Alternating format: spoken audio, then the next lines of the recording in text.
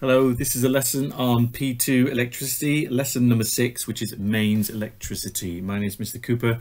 I'm a Director of Science for Outwood Grange Academies Trust.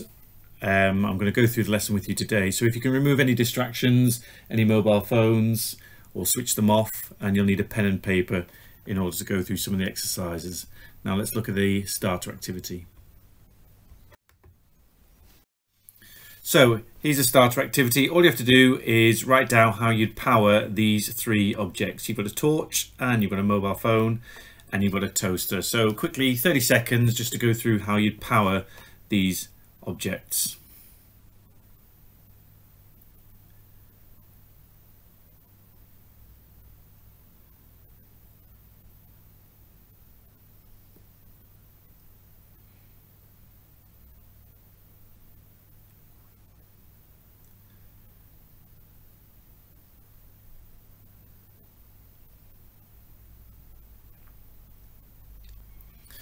Okay, fairly straightforward exercise. You've got battery power for the mobile phone and you've got the torch. Of course, you charge your battery, which is slightly different uh, to the mains, but overall your phone will use a battery and a torch will also use a battery. Your toaster, however, uses mains electricity, and that's what we're looking at today. Okay, so let's look at some of the outcomes today. Our Aspire outcome is to explain the differences between alternating and direct current. And then the challenge outcome is to describe properties of mains electricity in the UK.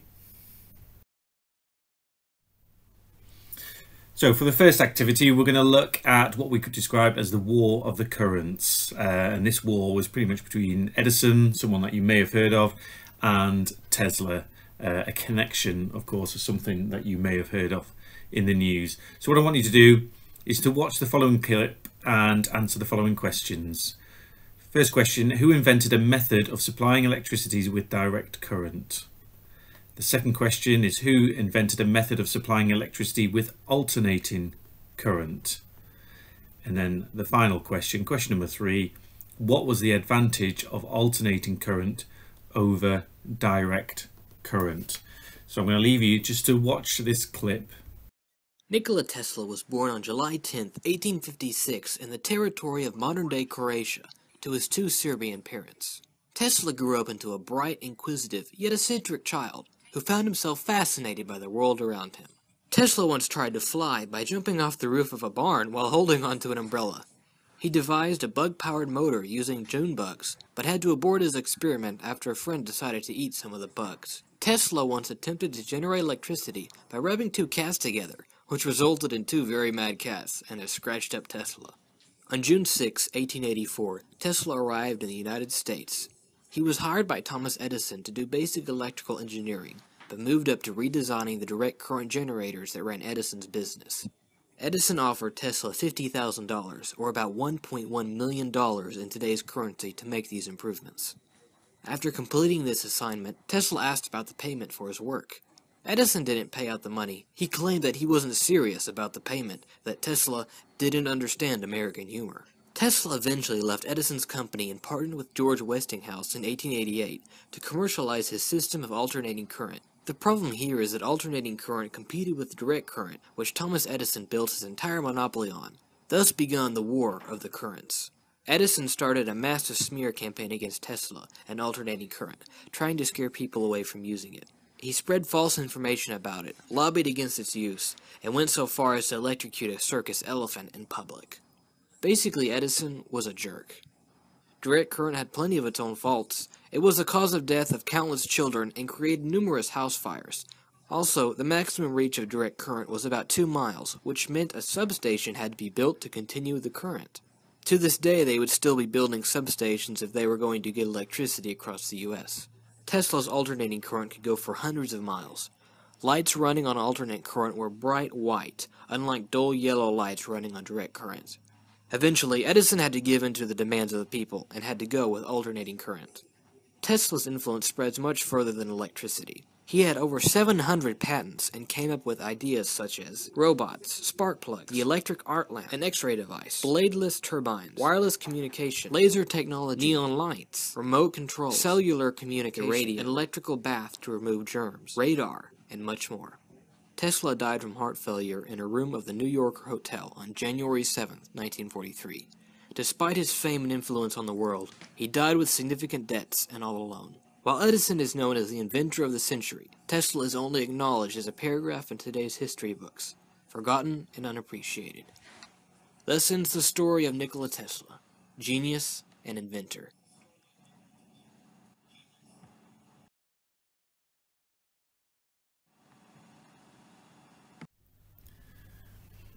So, electric current is the movement of charge. In order to transfer their energy, it doesn't matter which direction they are moving in. So, we've seen electrons, uh, we've described charge before. So, electrons carry the charge, um, whether it's going from positive to negative or negative to positive, it doesn't really matter. They're still going to be they're still going to be able to transfer their energy. If the current all flows in one direction, it is called direct current and the potential difference is always the same in the same direction and it doesn't change polarity. Now polarity means it goes from the positive to the negative which I'll demonstrate uh, on, on a graph um, coming up. If the current is constantly changing direction it's called alternating current which is AC and the potential difference does change polarity. It goes from a positive to a negative and sometimes it can do this switching of positive to a negative very quickly. And we call that the frequency. So the frequency of it going from a positive to a negative can be up to let's say 50 hertz. So 50 times a second. What I'd like you to do is make notes on those three bullet points in your books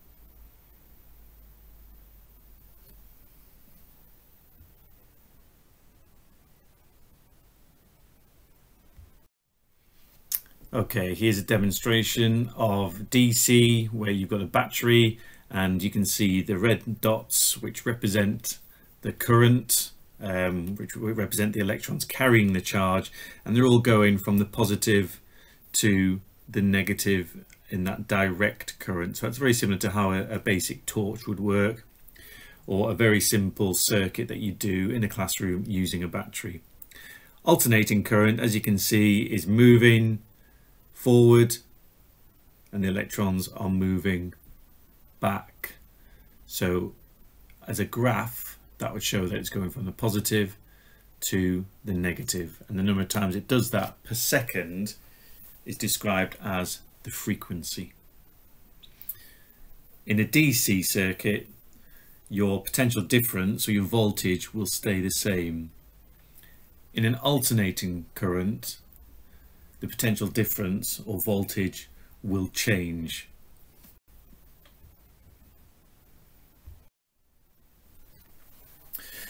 So these are two ways an electrical engineer would measure current. On the left, we've got a multimeter. Now we'll have some of those in the classroom and multimeter, multi meaning many, meter meaning a device that you can measure something with uh, means it can it can take many readings of uh, certain components around electricity such as resistance, voltage and current. On the right you've got an, an oscilloscope um, which can take the readings of potential difference over a period of time. So how these things, these two items would differ is the fact that a multimeter you can take multiple readings, but you only take that reading one point in time. So you can imagine a multimeter could be similar to a stop clock where it's a start and it's a stop.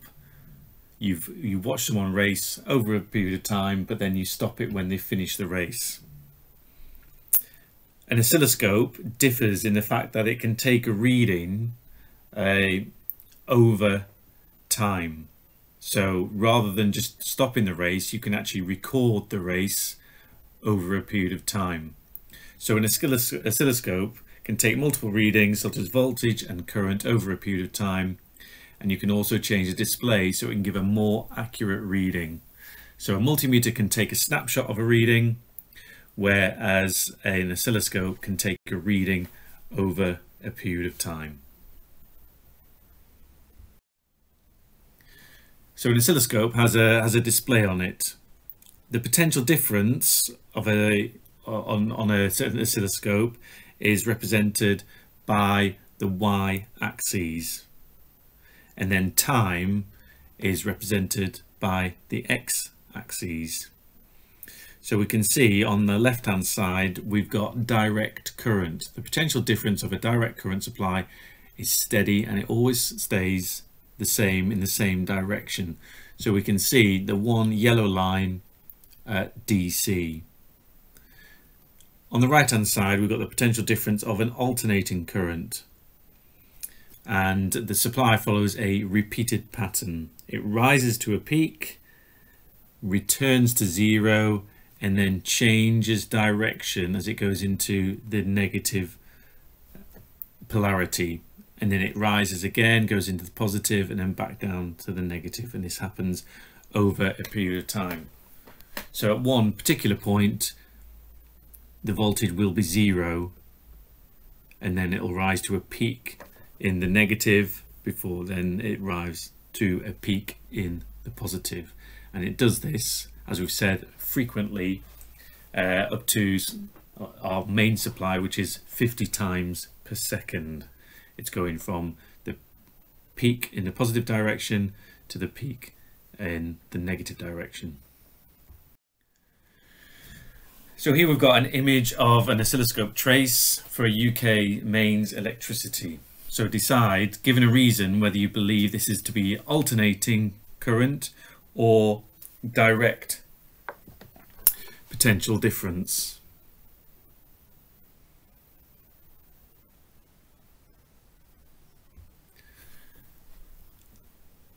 As we can see, this one goes into the negative, then it rises again to the positive, back to the negative, and then back again to the positive. So because the alternating current keeps changing polarity, the potential difference keeps changing.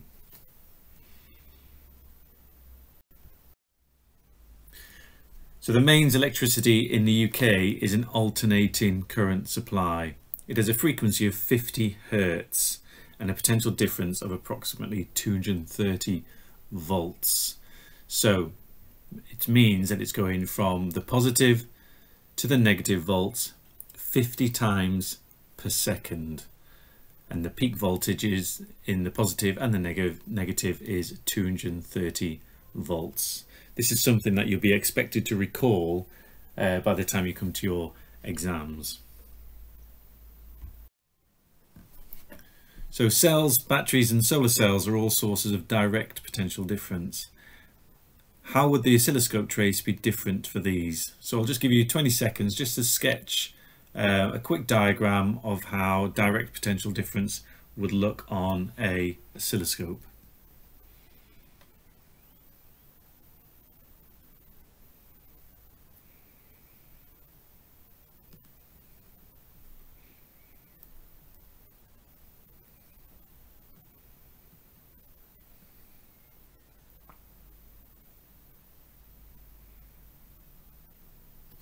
Okay, so we should have a diagram similar to this where the trace is represented by the red line and you can still see zero volts. For this particular reading, if we took each square to represent one volt, you've then got two volts and then for this particular reading it would reach about 2.4 volts.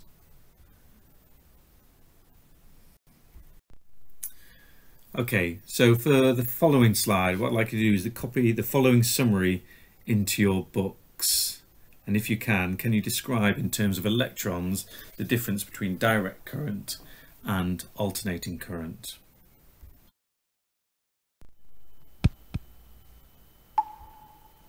Now, when it comes to current, there are two types that you need to know about. Now, when it comes to Alternating current, current, two types which you often need to know write as. AC, Alternating and direct current, which you often or DC. AC, and direct current, In an alternating current, DC. the direction of the current is constantly swapping back and forth, The direction of the So the charge flows in one direction, back and forth. then the other So direction, the and back again. one direction, then the We get direction, alternating and current whenever we use an alternating potential difference, current or alternating voltage. alternating potential so one that fluctuates between positive and negative. So one that fluctuates We can see this if we measure the potential difference or current over time. We can see this if we They measure the constantly potential fluctuate between negative and positive. They constantly fluctuate And at the circuit level, this means that the direction in which the charge is the flowing will constantly be swapping back in and which the forth. flowing will constantly be swapping back and forth. Here in the UK, all mains supply electricity, which is the electricity that comes from our plug sockets and powers our computers and kettles and so on, sockets is AC. And powers our computers And specifically, and so on, UK main supply is 50 Hz and around 240 supply volts, is 50 hertz, which means that on our bottom graph, the potential difference fluctuates from positive bottom graph, 240 the volts to negative fluctuates from 240 positive volts and back again 50 times every 240 second. And back again. And so the current will also second. fluctuate at that same rate. And so the current will also fluctuate at that One thing we should mention is that you'll sometimes hear that the voltage One is thing we should 230 volts rather than sometimes hear that the 240. voltage is 230 Basically, volts it can be either in the UK, 240. so they're both correct Basically, as far as your exams are concerned.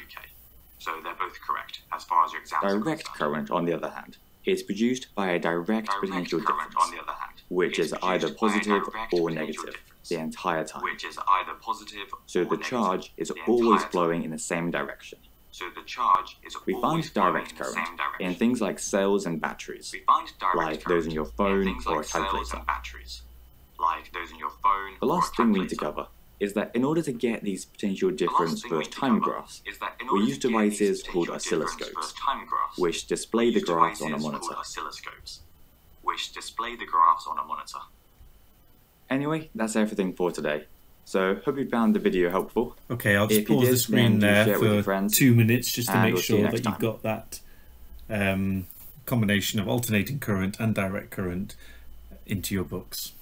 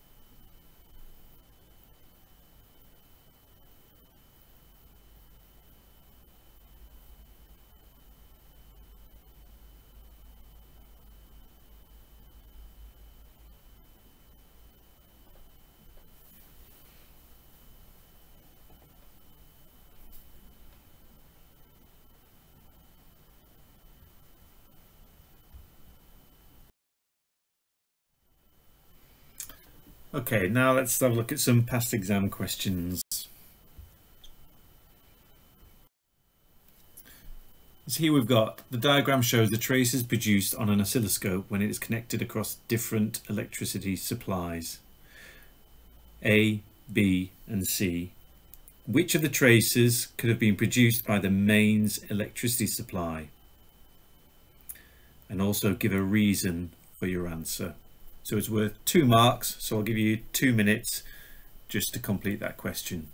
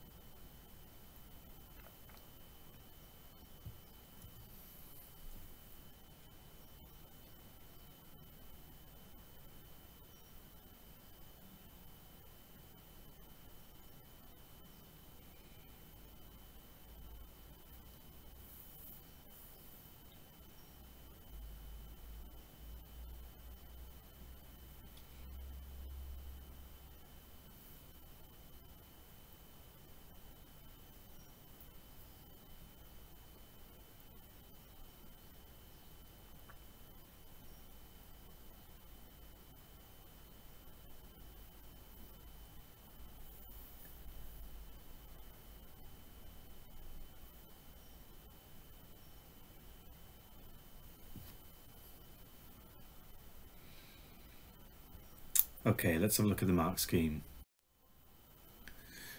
So the answer is of course A, um, and the reason being is the fact that A is alternating current. And you also get the mark if you say that because B and C are both direct current. Um, or alternative answers could be the fact that it changes direction or potential difference, uh, and we accept voltage instead of potential difference. Uh, just simply writing it goes up and down is insufficient because it's not enough detail. You need to actually use the word alternating or changing direction. So let's have another look at another question. So in the UK, mains electricity is 230 volts AC supply. Question A, what is the frequency of the AC mains electricity in the UK? And then B, what is an electric current? And then B, part two, explain the difference between alternating current, electricity supply, and a direct current electricity supply. So for the total of four marks for those three questions, I'll give you four minutes in order to complete them.